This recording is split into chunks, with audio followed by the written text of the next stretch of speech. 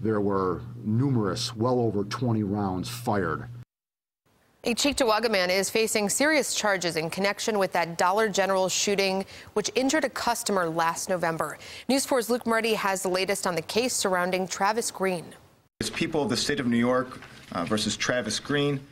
29 year old Travis Green of Cheektowaga was arraigned on charges of attempted murder, attempted assault, reckless endangerment, and criminal possession of a weapon. The people believe that based on um, the gravity uh, of these charges and the danger uh, that this defendant presents to the community, uh, that he should be remanded without bail. Green is accused of firing multiple rounds at a Dollar General store in Cheektowaga back in November. One man, a customer, was struck by gunfire while in the vestibule of the store. Apparently, the inner doors into the store were locked, and he couldn't get back into the store.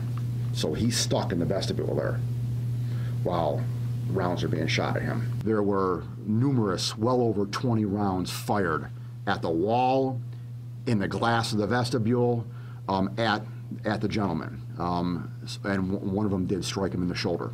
Authorities say Green used an AR 15 style rifle and possibly a pump action rifle. It's alleged that one of them was modified.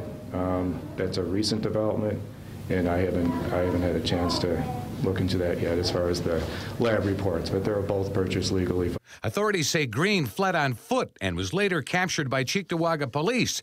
Defense attorney Paul Dell says Green has a wife and kids and no criminal history, and that there were a lot of issues going on in his life. The defense position that any criminal conduct was reckless as opposed to any kind of intentional um, act. Uh, he was clearly distraught, and um, I am having him evaluated as far as his mental health at the time. But Erie County District Attorney John Flynn says his office will fight any insanity claims raised by the defense. We will contend that he knew what was going on, he was able to comprehend his actions, and his actions were obviously criminal um, and not due to any mental defect. If convicted of the charges, Travis Green, who was ordered held without bail, could face a maximum of 25 years in state prison. Luke Moretti, News 4.